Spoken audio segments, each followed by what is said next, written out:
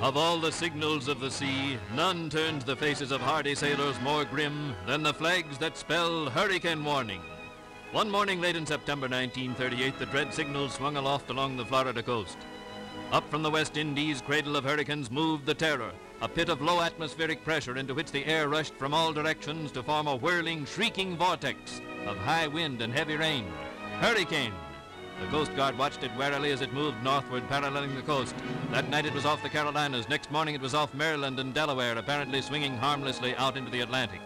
But a high-pressure area at sea deflected the hurricane back toward land. September 21st in mid-afternoon, this tropical terror struck, swept over outer Long Island, swept into thickly settled, highly developed New England, struck with winds roaring 100, 150, almost 200 miles an hour. Tidal waves 30 to 40 feet high struck a section unprepared.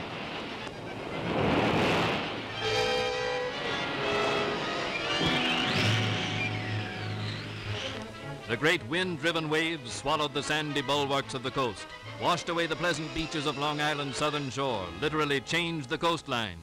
Bridges joining islands to the mainland were destroyed almost instantly. Men risked almost certain death trying to swim to their isolated homes and the Coast Guard restrained them when it could.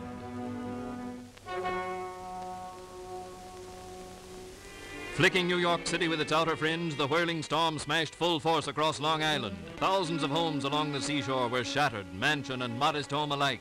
The storm tore timber from timber, leaving only tangled wreckage. Millions of dollars worth of yachts and pleasure craft were smashed or swept far up on land, damaged beyond repair. Undermined roadbeds derailed trains, Passengers were marooned, some of them drowned. Great radio stations, keys to wireless communication for the continent went down as the tempest swung across Long Island Sound. Just back of New London's wreck-strewn waterfront, fire broke out in the night, sweeping four business blocks. Automobiles were crushed and twisted by falling trees and whirling timbers. Cutting a wide pathway of ruin inward from the sea, the storm piled up property damage in the hundreds of millions of dollars. The quiet dignity of colonial meeting houses was reduced to broken lumber. In one brief hour, part of the ancient beauty that was New England's heritage vanished forever.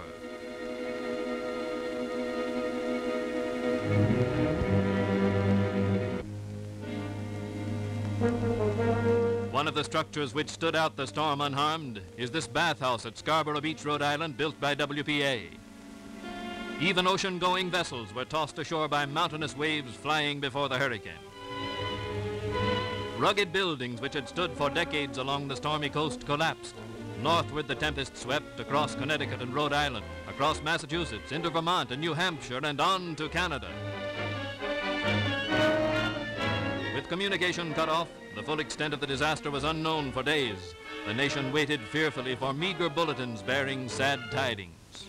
On the watersheds of New England, the storm brought new torrents to rivers already gorged after three days' downpour, and so flood was added to the burden of the hurricane. Sweeping down from their headwaters in the high mountains, swirling rivers rose to levels rivaling the disastrous floods of 1936, increasing the difficulty of removing refugees and of carrying food and help into the stricken area great dam at Holyoke was a cascade of thundering water as the torrent poured over its crest.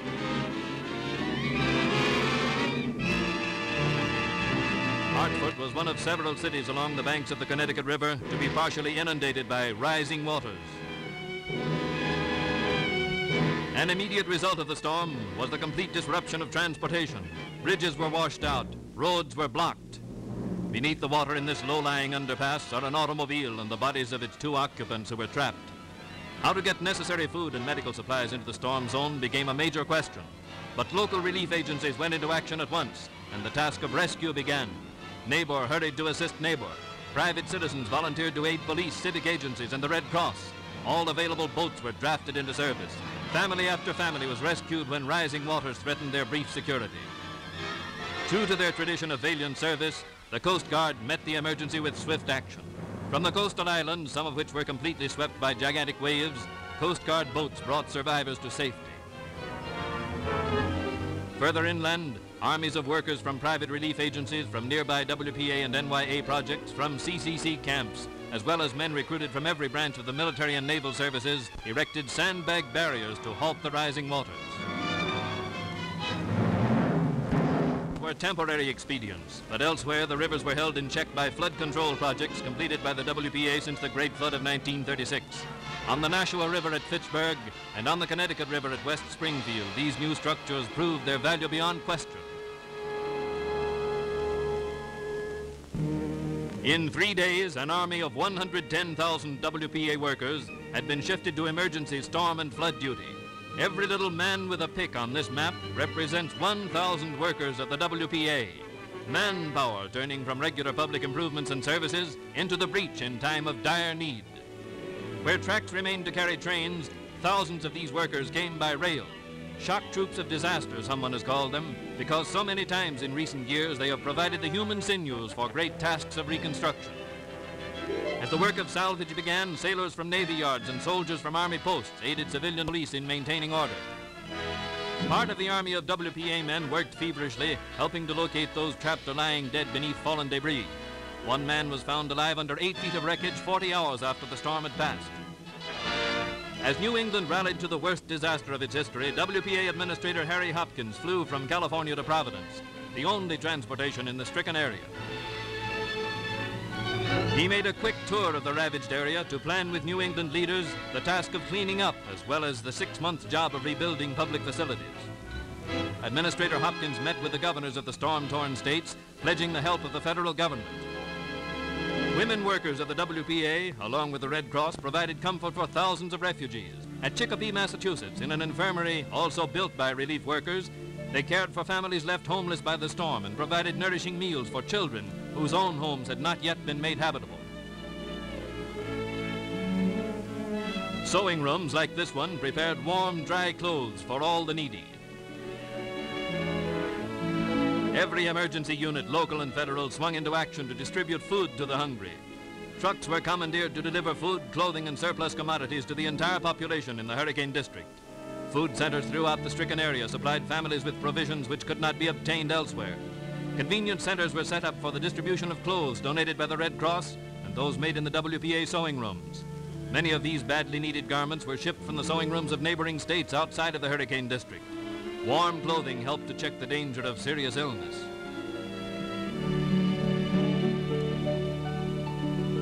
Stubbornly, the ghastly wreckage of the storm gave way, and the realization came that it would not be days, but months before normal life could be resumed.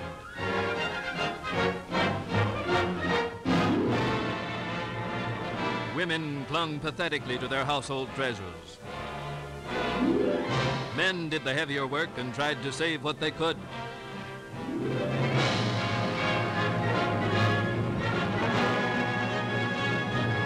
In many towns, like this one in Rhode Island, tons of mud and sand washed over the main highways. All of this had to be cleared away before the paralyzed villages could make any headway toward recovery.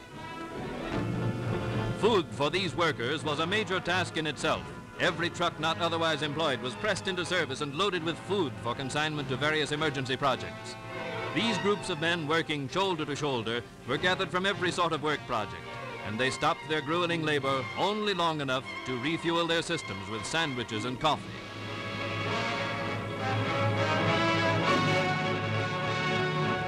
But man needed the help of machinery in his task. Huge sections of broken homes, roofs, whole wings, porches were dragged to open fields to be burned.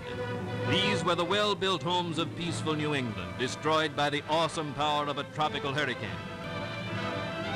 Every saw in the storm area bit deeply into fallen giants that had been a feature of the beauty of New England. Here youthful NYA and CCC workers vied with older men.